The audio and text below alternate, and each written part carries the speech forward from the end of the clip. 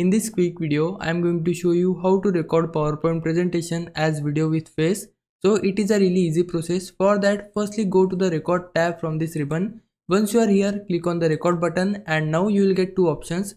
First is from current slide. If you want to record your presentation from the current slide, then go with the first option. If you want to start the presentation from beginning, then select the second one which is from beginning so i want to start from the beginning so i'll select the second one and then it will give you the preview of your presentation. In case you are not able to see your facecam on the bottom right corner then you need to turn on the facecam by tapping on this camera icon. So i just need to turn it on by tapping on it just like this and then you will be able to see your facecam also if you are not able to see all of these options on the bottom of your screen then you need to contact the Microsoft PowerPoint support team and then they'll guide you to the process of enabling these icons.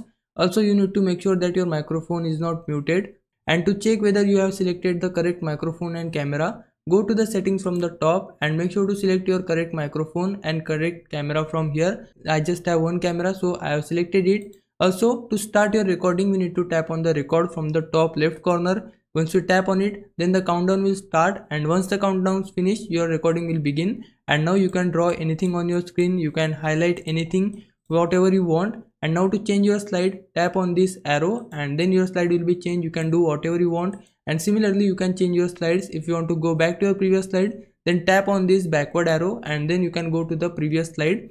Now to save your recording, tap on the stop button from the top left corner and then your recording will be stopped. If you want to replay it then click on the replay button and your recording will be replayed on your screen. I just want to stop it. So for that i'll hit stop and now if you want to export your video with face and your presentation then for that go back to your powerpoint for that hit escape key on your keyboard before we export our presentation as video you can also adjust the position of your face for that just select your face and then you can place it anywhere you want you can also increase the size of it according to you but I don't want to do it. Additionally, you can go to the video format while selecting your video and from here you can add any effect you want. Also you can add and shape to your video. So for that select your video then go to the video shape under video format.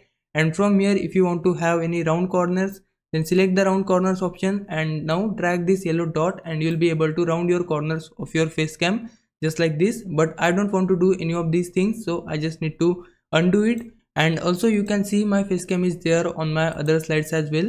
Now to export our presentation as video we need to go to the file from the top and here click on the export tab and under it we need to select create a video. And here make sure to select your quality. My quality is full hd i need to select it. And also make sure to select the second option which is use recorded timings and narrations so that if you export your presentation as video it will have your custom duration for all of your slides. So in case if you have spent more time on any particular slide then it will have that time on your recorded video. So we need to select the second option and now hit create a video and then it will ask for your location path to export your video. I want to export it on my desktop and now name it anything. I want to name it sample then hit save.